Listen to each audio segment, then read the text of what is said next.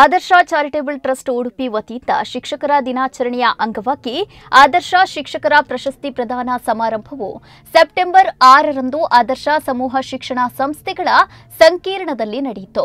Adarsh college of nursing, Adarsh institute of allied health sciences, Adarsh paramedical college, Adarsh ಆಸ್ಪತ್ರೆ, ಉಡುಪಿ ಮತ್ತು ಶಾಲಾ ಶಿಕ್ಷಣ ಇಲಾಖೆ, ಉಡುಪಿ ಸಹಯೋಗದಲ್ಲಿ ಕಾರ್ಯಕ್ರಮವನ್ನು ಆಯೋಜಿಸಲಾಗಿತ್ತು.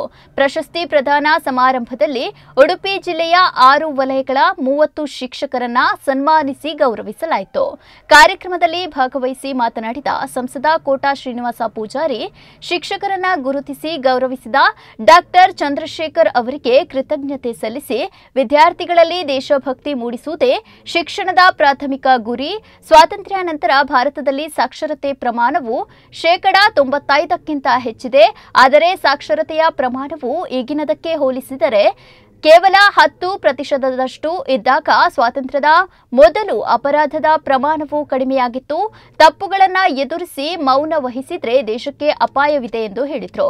ಶಾಸಕರಾದ ಗುರ್ಮೆ ಸುರೇಶ್ ಶೆಟ್ಟಿ, ಯಶ್ಪಾಲ್ ಸುವರ್ಣ, ಉಡುಪಿ ಜಿಲ್ಲಾ ಸಾರ್ವಜನಿಕ ಶಿಕ್ಷಣ ಇಲಾಖೆ ಉಪನಿರ್ದೇಶಕ Ganapathi K, Poornaprajna institute of management ನಿರ್ದೇಶಕ ಶ್ರೀರಾಮನ್ ಐತಾಳ್, ಅಪರ ಜಿಲ್ಲಾಧಿಕಾರಿ ಮಮತಾದೇವಿ ಜಿಎಸ್ ಅಲೆವೂರು ಗ್ರಾಮ ಪಂಚಾಯತ್ ಅಧ್ಯಕ್ಷೆ ಯತೀಶ್ ಕುಮಾರ್ ಆದರ್ಶ ಆಸ್ಪತ್ರೆ ಮುಖ್ಯ ಕಾರ್ಯನಿರ್ವಹಣಾಧಿಕಾರಿ Vimala Chandrashekar, Alevoor Adarsh college of nursing ಪ್ರಾಂಶುಪಾಲರಾದ Sudhina, Adarsh institute of allied health sciences Adarsh paramedical college ಪ್ರಾಂಶುಪಾಲರಾದ ರವಿಕುಮಾರ್ ಟಿಎನ್ ಆದರ್ಶ ಆಸ್ಪತ್ರೆಯ ಅಧ್ಯಕ್ಷರು ಮತ್ತು ವೈದ್ಯಕೀಯ ನಿರ್ದೇಶಕರಾದ doctor G S Chandrashekar, Prashanth Shetty Havanje ಉಪಸ್ಥಿತರಿದ್ದರು.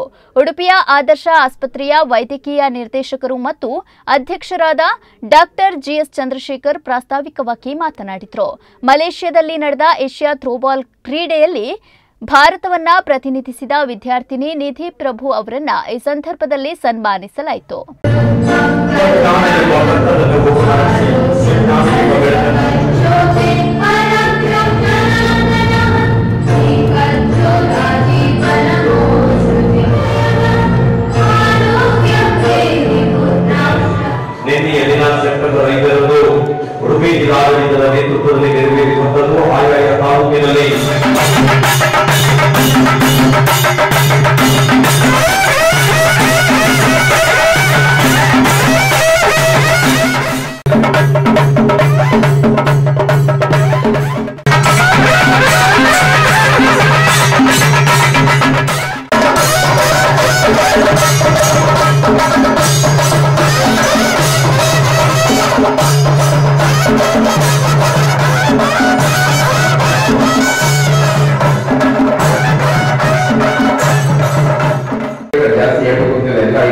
ಇಲ್ಲ ಗೊತ್ತಿದೆ ತುಂಬಾ ಸಾಮಾನ್ಯ ಮನುಷ್ಯರು, ಅವರು ಸಂಸದರು ಅಂತ ಯಾರು ಹೇಳಿಕ್ ಸಾಧ್ಯ ಇಲ್ಲ.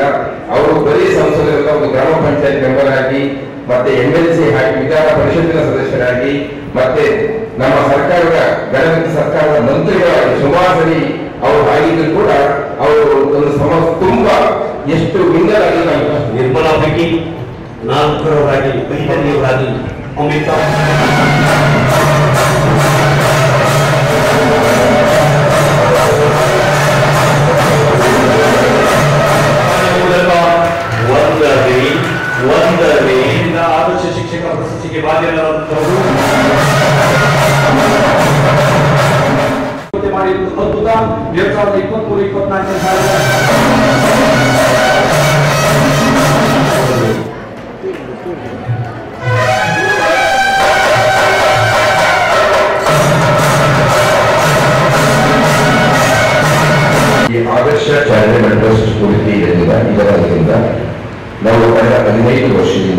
ಈ ಒಂದು ಆದರ್ಶ ಶಿಕ್ಷಕ ಪ್ರಧಾನ ಸಮಾರಂಭವನ್ನು ನಾವು ಮಾಡ್ಕೊಂಡು ಬರ್ತಾ ಇದ್ದೇವೆ. ಕೆಲವೇ ಅನಿಸ್ತದೆ, ಎಷ್ಟೋ ಜನ ಕೇಳಲಿಕ್ಕೂ ಹೋಗಿದ್ದಾರೆ. ಯಾಕೆ ಯಾರಾದರೂ ನಿಮಗೆ ಟೀಚರ್ಸ್ ತುಂಬಾ ಪ್ರಭಾವ ಬೀರಿದ್ದಾರಾ? ಅದಕ್ಕೋಸ್ಕರ ಈ ತರ ಮಾಡ್ತಾ ಇದ್ದೀರಾ ಅಂತ ಹೇಳಿದ್ರು. ಅದು ಒಂದು ದೊಡ್ಡ ಸತ್ಯ. ಯಾಕೆ ಅಂತ ಹೇಳಿದ್ರೆ, ನಾನು ಶಾಲೆಗೆ ಹೋಗೋದು ತುಂಬಾ ಹಿಂದೆ ಬಿದ್ದವನು ನನಗೆ ಶಾಲೆಗೆ ಹೋಗೋದೇ ಇಲ್ಲ, ನನ್ನ ಕತ್ತೆ ಕಾಯ್ತೀನಿ ಅಂತ ಹೇಳ್ತಾ ಇದ್ದೆ. ಅದು ನನ್ನ ಹುಟ್ಟಿನಲ್ಲಿ, ನಮ್ಮ ಸಣ್ಣ ಊರಿನಲ್ಲಿ ಬಂದಿತ್ತು ಆದರೆ ನಮ್ಮ ತಂದೆ ಮತ್ತೆ ತಾಯಿ ಹೆಜ್ಜೆಯವರು ಇಲ್ಲ ಮಕ್ಕಳ ಮೊದಲ ವಿದ್ಯಾಭ್ಯಾಸ ಮಾಡಲೇಬೇಕು ಅಂತ ಹೇಳಿದ್ರು. ಟೀಚರ್ಸ್ ಹೇಳಿ, ಅವರು ಪ್ರತಿನಿತ್ಯ ಒಂದು ಜಾಕೆಟ್ ಕೊಡ್ತಾ ಇದ್ರು. ಶಾಲೆಗೆ ಬಂದರೆ ಒಂದು ಜಾಕೆಟ್ ಕೊಡ್ತಾ ಇದ್ರು. ಸೊ ಆ ಥರ ಒಂದು ಇದರಲ್ಲಿ ನಾನು ಶಾಲೆಗೆ ಹೋಗಲಿಕ್ಕೆ ಶುರು ಮಾಡ್ತೀನಿ ಸೊ ಇನ್ನೊಂದು ಹೇಳಿದ್ರೆ ಸಮಾಜವಾಗಿ ಒಂದು ಸಮಾಜದಲ್ಲಿ ನಮ್ಮ ಒಂದು ಗುಣಭಾವ ಒಂದು ಭಾರತ ದೇಶವನ್ನು ಕಟ್ಟಬೇಕು ಅಂತ ಹೇಳಿದ್ರೆ, ಮುಖ್ಯವಾಗಿ ಮೂರು ಬೇಕಾಗುತ್ತೆ. ಒಂದು ಆರೋಗ್ಯ ಸಂಪತ್ತು ಆಮೇಲೆ ಒಬ್ರು ಗುರುಗಳು ಹೇಳ್ತಿದ್ರು ಮದ್ವೆ ಮಾತಾಡೋರೆಲ್ಲ ದೇವ್ರ ತರ ಕಾಣ್ತಾರೆ ಮನೆ ಮನೆ ಮಾತಾಡೋಲ್ಲ ದೇವ್ರ ತರ ಕಾಣ್ತಾರೆ ಅನ್ಕೊಂಡ್ಬಿಟ್ಟು ಆಯ್ತಾ ಈಗ ಮನೆಗೆ ಬಂದು ನಿಂತಿದ್ದೇನೆ ಅಷ್ಟೇ ನಾನು ಆದ್ರೂ ಕೂಡ ದೇವವಾಗ್ಲಿಕ್ಕೆ ಅಂತ ಇಷ್ಟಪಡೋದಿಲ್ಲ ನಾನೀಗ ಕೆಲವೇ ಒಂದು ಐದು ನಿಮಿಷದೊಳಗೆ ನಾನು ಮುಗಿಸ್ ಮಾತನ್ನು ಮುಗಿಸ್ತೇನೆ ಸ್ನೇಹಿತರೆ ಇಲ್ಲಿ ನಾನು ಹೇಳಬೇಕಾಗಿದೆ ಏನಿಲ್ಲ ಇದೆಲ್ಲ ಗಣ್ಯಮಾನ್ಯರು ಹೇಳಿದ್ದಾರೆ ನಾನು ಇಲ್ಲಿಂದ ಏನಾದ್ರು ಒಂದಿಷ್ಟು ಒಳಿತಲ್ಲಿ ತೆಗೆದುಕೊಂಡು ಹೋಗಾಗ್ತಾ ಅಂತ ಯೋಚನೆ ಮಾಡ್ತಾ ಇದ್ದೆ ನಾನು ಏನಾದ್ರು ಒಳಿತಕ್ಕಂಥವ್ರು ಯೋಚನೆ ಮಾಡಿ ನಾವು ಬೆಳಿಗ್ಗೆ ಎಂಟು ಆಗ್ತದಂಗೆ ಆದರ್ಶ ಹಾಸ್ಪಿಟಲ್ನ ಡಾಕ್ಟರ್ ಚಂದ್ರಶೇಖರ್ ಮತ್ತು ಅವರ ಪತ್ನಿ ವಿಮಲಾ ಚಂದ್ರಶೇಖರ್ ಅವರು ಅವರ ತಂಡ ನಮ್ಮನ್ನು ಹೇಗೆ ಬರ ಮಾಡ್ಕೊಳ್ತಾರೆ ಆಯ್ತಾ ಅಲ್ಲಿಂದ ಪ್ರಾರಂಭವಾಯಿತು ಆಯ್ತಾ ಏನಂತ ಹೇಳಿದ್ರೆ ಆ ಒಂದು ಪೂರ್ಣಕುಂಭ ಆ, ಚೆಂಡೆ ಏನದು ಕಹಳೆ ಆಯ್ತಾ ಈ ಸಂಭ್ರಮದಲ್ಲಿ ನಾವು ಕೇಳಿದ್ದೇವೆ ಜ್ಞಾನ ಎಂಬ ಪರಂಬ್ರಹ್ಮ ಅಂತ ಅಂದ್ರೆ ಜ್ಞಾನಕ್ಕಿಂತ ಅಂತ ವಸ್ತು ಈ ಜಗತ್ತಲ್ಲಿ ಯಾವುದೂ ಇಲ್ಲ. ಅದಕ್ಕೆ ಕಾರಣ ಅಂತವರು ನಮ್ಮ ಶಿಕ್ಷಕ ಬಂಧುಗಳು. ಸಾವಿರಾರು ನಲವತ್ತೆಂಟರಲ್ಲಿ ದ್ವೈತ ವಿದ್ಯಾರ್ಥಿ ಕವಿ ಕಡೆ ಬರೀತಾರೆ ಜಾತಿ ಸಂಕಟವಿಲ್ಲ ಜಗತ್ತಿಗಳಿಲ್ಲ ನೀತಿಹೀನರಿಲ್ಲ ಚೋರರಿಲ್ಲ ದುರ್ಜನ ಈ ನಾಡಿನ ಪರಿ ಎಳೆದು ಬಡಿಸಿ ಅಂತಕ್ಕಂಥ ಮಾತನ್ನ ಕವಿ ಆ ಬರೀತಾರೆ. ಇವತ್ತು ನೇತ್ರಾವತಿಯಲ್ಲಿ ಬಹಳಷ್ಟು ನೀವು ಹರಿದು ಹೋಗಿದೆ. ಹಲವಾರು ತಲೆಮಾರು ಉಳಿದು ಸ್ನೇಹಿತರೆ ಒಂದು ಕಡೆ ನೀತಿಯಿಲ್ಲದ ವ್ಯಾಪಾರ ಶೀಲವಿಲ್ಲದ ಶಿಕ್ಷಣ, ತತ್ವರಹಿತ ರಾಜಕಾರಣ ಮಾನವಿಕ ವಿಜ್ಞಾನ ಇದೆಲ್ಲವನ್ನು ಮೂವತ್ತು ಶಿಕ್ಷಕರನ್ನ ಉತ್ತಮ ರೀತಿಯಲ್ಲಿ ಆಯ್ಕೆ ಮಾಡಿ ಈ ಚಂದ್ರದ ಸಮಾರಂಭದಲ್ಲಿ ಸನ್ಮಾನ ಮಾಡಿ ಅತ್ಯುತ್ತಮ ಶಿಕ್ಷಕರಂತ ಗುರುತು ಕೊಟ್ಟು ಅವರಿಗೆಲ್ಲರೂ ಅಭಿನಂದನೆ ಮಾಡಲಿಕ್ಕೆ ಕಾರಣೀಭೂತರಾದಂತ ನಮ್ಮೆಲ್ಲರ ಪ್ರೀತಿಯ ಡಾಕ್ಟರ್ ಚಂದ್ರಶೇಖರ್ ಅವರಿಗೆ ಯುವನ ಚಂದ್ರಶೇಖರ್ ಅವರಿಗೆ ನಾನು ಸಮಸ್ತರ ಪರವಾಗಿ ಪ್ರೀತಿಯ ಧನ್ಯವಾದಗಳನ್ನು ಅಭಿನಂದನೆಗಳನ್ನು ಹೇಳಬೇಕು ಅಂತ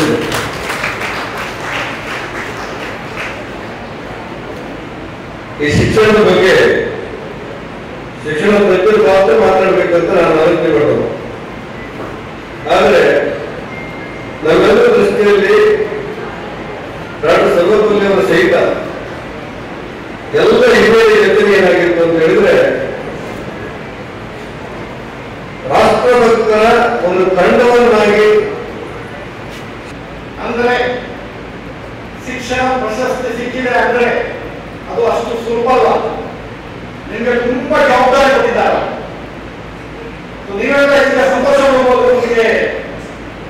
ಶಿಕ್ಷಣ ಪ್ರಶಸ್ತಿ ಸಿಕ್ಕಿದೆ ಆದರ್ಶ ಶಿಕ್ಷಣ ಅಥವಾ ಶಿಕ್ಷಣಕ್ಕೆ ಆಗಿದ್ದೇವೆ ನಾವು ಅಂತ ಬಟ್ ಅವರ ಇಡದ ಎಜೆಂಡಾ ಇದೆ ಅಂದ್ರೆ ನಿಮಗೆ ತುಂಬಾ ಜವಾಬ್ದಾರಿ ಕೊಟ್ಟು ಈ ದೇಶದಲ್ಲಿ ಒಳ್ಳೆಯ ಪ್ರಜೆಗಳನ್ನು ಡೆವಲಪ್ ಮಾಡಲಿಕ್ಕೋಸ್ಕರ ಐಡೆಂಟಿಫೈ ಮಾಡಿದ್ದಾರೆ ಸೊ ನಮ್ಮ ಡಾಕ್ಟರ್ ಚಂದ್ರಶೇಖರ್ ಅವರು ತುಂಬಾ ಇಂಟೆಲಿಜೆಂಟ್ ಆಕ್ಟ್ ಮಾಡಿ ಹೇಗೆ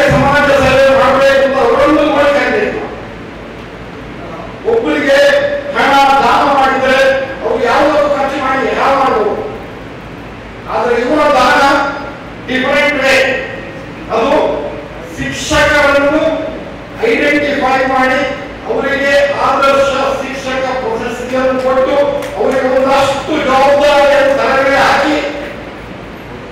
ಇವರು ಹಾಗೆ, ಡಾಕ್ಟರ್